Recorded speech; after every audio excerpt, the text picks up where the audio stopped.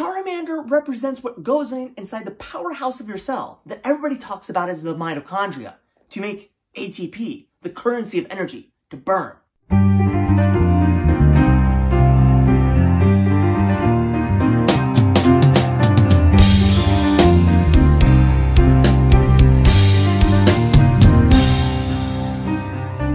We have gone through photosynthesis, and it seems like we've used up all of our Pokemon.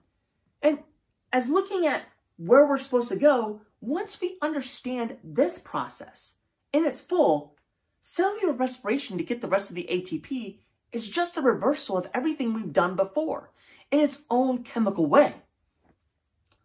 We, at the end of photosynthesis, release oxygen from the water. We got the CO2 fixed into glucose, and we have a little bit of ATP and electron carriers that are all these Pokemon that are products of photosynthesis. The interesting thing is whenever you have cellular respiration, it's actually just combustion. The removal of carbon dioxide from glucose or cellulose like you find in wood at a bonfire, that releases a certain amount of heat energy.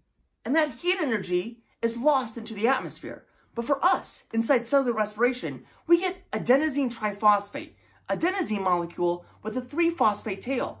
Whenever you break apart glucose in glycolysis and eventually move that into the mitochondria, that process is just splitting this apart and you eventually give off carbon dioxide.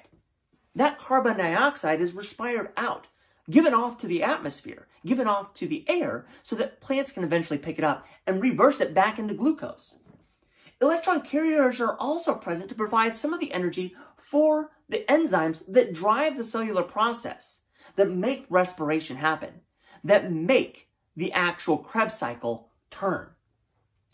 Water is eventually made because oxygen gas is taken in, and the electrons that are now of low energy use the electrons to attach oxygen to protons to make the water.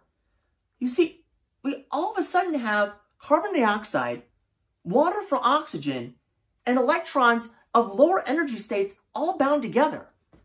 These electrons are actually used in electron carriers to drive its very own electron transport chain. Electron transport chain that looks a lot like the light reaction.